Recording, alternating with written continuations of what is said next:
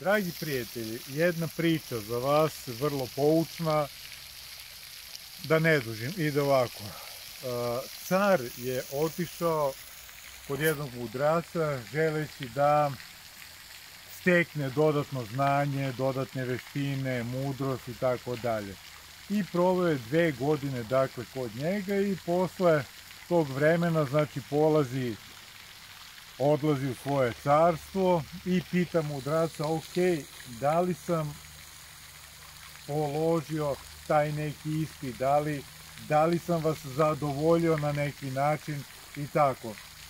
Kaže a, njemu ovaj mudrac, vidi, doći ću na jesen u tvoj dvor i vidjet ćemo onda kakva je situacija, tada ću ti odgovoriti na ovo tvoje pitanje. I sad došla je jesen i šta je radio car? Car je naredio dakle svojim radnicima da pospreme čitav dakle park, da bude znači potpuno ono idealno stanje jedno i čekaju da dođe njegov učitelj. Ako čujete ovo trenutno, to je isto fontana koju je spremio, dakle sredio car za svog učitelja I jednog dana bane učitelj tamo i car ga sačepi, kaže vidiš kako je ovde predivno, vidiš kako je super, ajde sad da sedimo ovde na klupi, dakle, i reci mi kako je to otprilike, šta ti misliš, jesam položio ili nisam.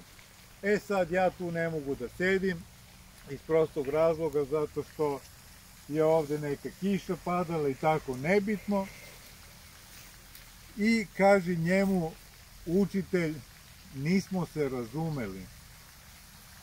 Ovo što si ti ovde posložio molit ću da se to prikaže ovo što si ti ovde posložio to je idealno. Dakle to je idealno stanje.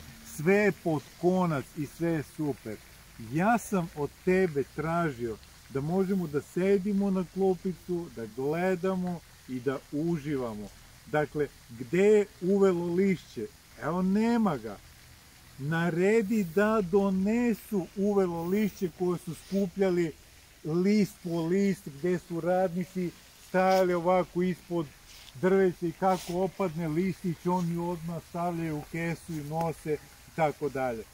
Znači, kakva je to jesen ako nema evo uvelog lišća, ako ono ne šusti, pod našim nogama, ako grančice ne pucketaju, ako kiša ne rominja, ako vetri znači lagano ne pomera, to sad nema vetrić, evo ja ću malo da budem vetri, znači pomera grančice. Znači, tražio sam potpuno, a ne idealno. Ljudi, vi u vašim životima tražite idealno stanje. To je jedan od razloga zašto kockate tražite nešto idealno, dakle, da se desi, da bude savršeno, da bude ne, ne, ne. Ajde probajte da prihvatite da to bude potpuno. Sa svim prirodnim radostima, tugama, srećama, žalostima, sa svim lepim trenucima, ali i onim tužnim trenucima. Znači, to je jedan paket životni. Životni paket nije idealno stanje životni paket je potpuno stanje. I molim vas, probajte da razmišljate na takav način, jer taj način razmišljanja će vas onda potpuno, znači, odvesti sa polja kockanja. Vi ćete reći, ok, sada sam bio i godinama sam na negativnoj strani, ok, sada želim malo da budem na pozitivnoj strani. Pa ako mi se to ne bude svidelo, znači da je sve ok, da ja odlučujem, da upravljam velikom većinom stvari, pa mogu da budem neispravan uvek. Svako od vas, ja sa vama zajedno. Znači, to je, to je nešto što je jako bitno, da razvojite idealno stanje i potpuno stanje.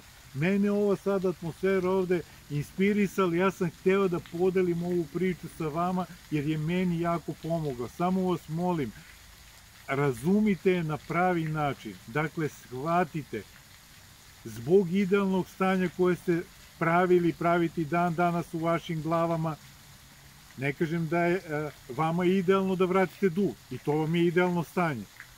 Ali ajde u okviru toga da budemo ono u potpunom stanju, a ne idealno. Jer kad budete vratili imat ćete sledeće idealno stanje, pa sledeće idealno, pa sledeće idealno stanje. I stalno ćete pomerati granicu. Ajde negde odredite koja je mera vaša i budite u toj meri, budite potpuni.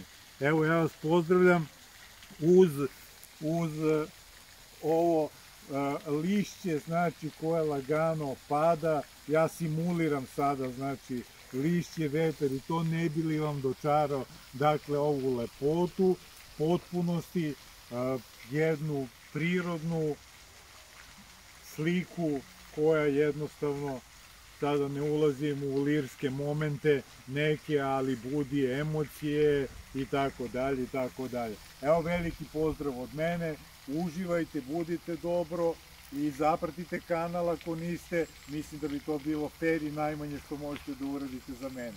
Pozdrav veliki!